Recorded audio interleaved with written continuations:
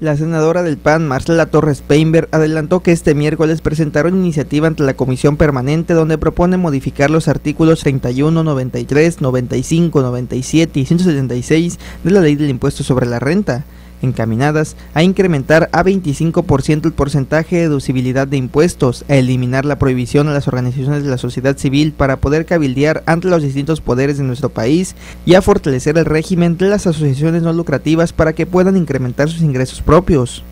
El objetivo de la iniciativa que se está presentando mañana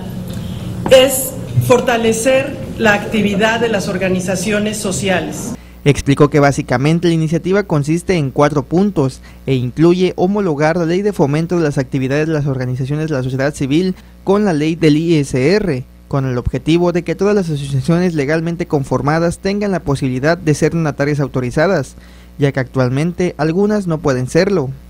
Otro punto es aumentar el porcentaje de fondeo que pueden tener las distintas organizaciones por actividades económicas distintas a su objeto social. Esta, esta medida en especial lo que va a hacer es que eh, organizaciones, por ejemplo, que se encargan de atender a población vulnerable, que no pueden cobrar por sus servicios, puedan tener una vía alterna de financiamiento a sus actividades.